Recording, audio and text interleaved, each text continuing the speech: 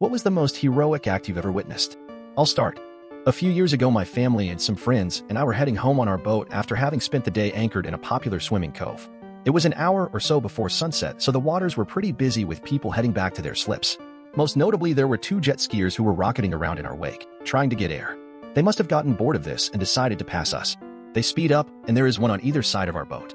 They were starting to get dangerously close, so my father's friend, an ex-Navy pilot, who was driving, honks the horn a few times and tries to wave them off. No response. Either they don't hear or they don't care. Just as my father's friend says he is going to slow down to let these idiots get ahead of us, one of the jet skiers, who is apparently unaware of the boat's presence, cuts hard to his right, directly into the path of our boat. My father's friend can't swerve to avoid him without running the other jet skier over, and there is no way he can stop in time to let the jet skier go in front. So he cuts the engine and goes hard to the left knowing it's better if the idiot hits to the hull instead of the bow. The sound of the engine being cut finally catches the attention of the dude we are about to run over milliseconds before the impact. He has just about enough time to see the boat and then wham. There is an awful shuddering sound and then thudding all along the bottom of the boat.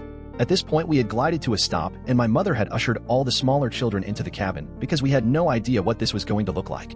We are all scanning the water when we see the mangled jet ski jump out of the water about 30 feet behind us. A moment later, the jet skier's body does the same. The guy was floating face down, not moving. My mother started screaming. I nearly passed out and my father's friend was already on the radio for help. But my father? Without hesitation, the man dove into the water fully clothed, shoes, wallet, sunglasses, everything, and started swimming toward what appeared to be a dead body and a jet ski now leaking fuel into the water. I start screaming for him to come back. The water we were in was 30 feet deep, and there was gas everywhere. I was terrified. My father made it to the body, shook the guy, and turned him over. The jet skier's head lolled. My father then pinched the guy's nose and gave him mouth to mouth until he sputtered back in consciousness. Almost immediately, the jet skier started flailing in panic, probably having a delayed reaction to having seen a boat about to run him over. That's when he pushed my father underwater.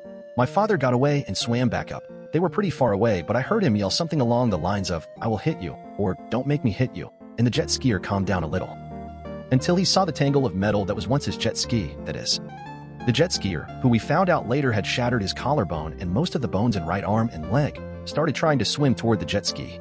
My father tried to hold him back but didn't want to hurt him. The jet skier managed to get back to the jet ski and started to try to turn it back on. My father started screaming because he knew that if anything in that engine moved that the explosion would likely kill them both and his family and friends floating nearby.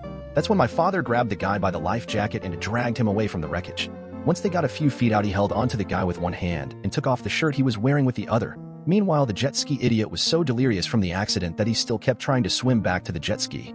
My father then proceeded to tie the delirious idiot's arms to his sides and drag him back to our boat.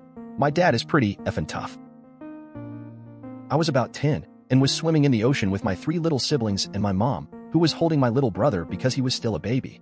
All of a sudden she screams out, in terrible pain, then yells, feet up, swim to shore, now. She grabs my little sister, she is limping, holding my brother and sister when she screams again and falls backwards, all the while holding my baby brother six inches above water. My sister over her shoulder to avoid the effing school of stingray that were passing by, and we had trampled all over. We made it to shore. She had three stings total on her right leg, one in her foot, and had to be hospitalized for two days. None of us got stung at all. Mommin, like a boss. TL, DR, my mom took four stingray stings while holding her kids above water. I was about 10 when my dad was driving. A friend of his was in the passenger seat, Tom, and I in the back, late at night, and we drive up to damaged van and a flaming car standing in the middle of the motorway, obviously a crash. Flaming. I mean, this car had flames everywhere. It was fully ablaze. The van driver was sitting on the median, in shock, apathetic. We stopped, of course, and a guy runs up asking whether anyone has a phone. These were the old days. Phones were rare. My dad has one, and calls emergency services, describes the scene, gives all the info, etc. This takes a few minutes, and just as dad hangs up, the passenger door opens, and Tom, with blackened face, sits down. We hadn't even noticed he was gone. Apparently, when the car stopped, he immediately got out, ran over to the burning car, pulled out three unconscious teenagers, and laid them on the shoulder. Like a boss. Others then set about doing first aid. We all drove off again when the ambulance arrived. Dad obviously did the right thing, calling emergency and staying with his kid, so no disrespect. But Tom was the hero. The teenagers, I guess, never knew who saved their lives. When I was about 8 or 9, I was in a car accident with my grandmother. We were making a U-turn, about half a block from our home, and two cars came racing directly into us. Our car flipped a couple times then stopped at a tree. I was sleeping at the time, so didn't see slash feel anything. I just remember images of a man pulling me out of the car and setting me down on the sidewalk. Then I blacked out. After asking my mom about him and who he was, she didn't recall seeing anyone else at the scene of the crash. He helped me and my grandmother out of the car and left. Thanks, Tom, whoever you are. Unfortunately, my grandmother later died at the hospital. When I was a little kid, I lived on a farm that was bordered by a river. My cousins were visiting, and one of them was sitting on the riverbank. She must have only been five or six at the time. It had rained recently, so the river was high and swift. She fell into the river and couldn't swim back to shore. Her mom jumped in to save her. She was strong enough to swim back to shore, but couldn't get back while holding her daughter. While my family was freaking out, our nice and obedient golden retriever, Charmer, jumped in and safely pulled them both back to shore like a mother effing boss. He was probably the best dog we had. When I was seven and my brother was five, we had moved into a townhouse sort of neighborhood.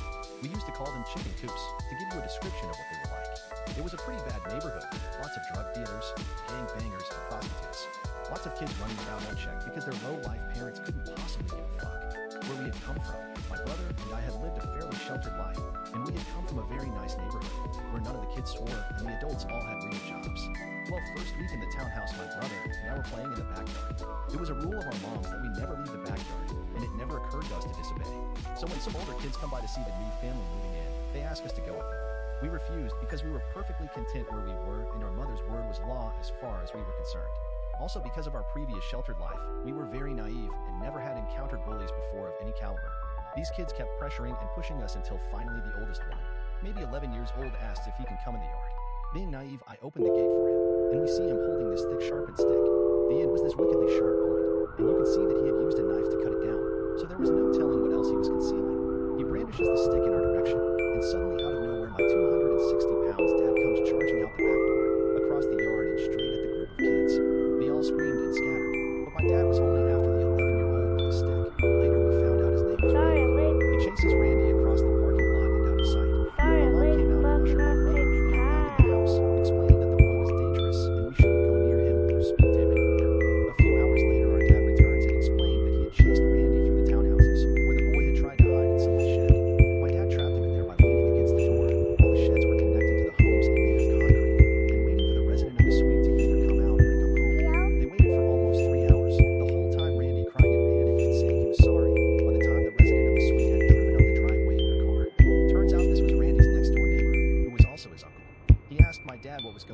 and my dad explained that Randy was terrorizing his young kids. When Randy tried to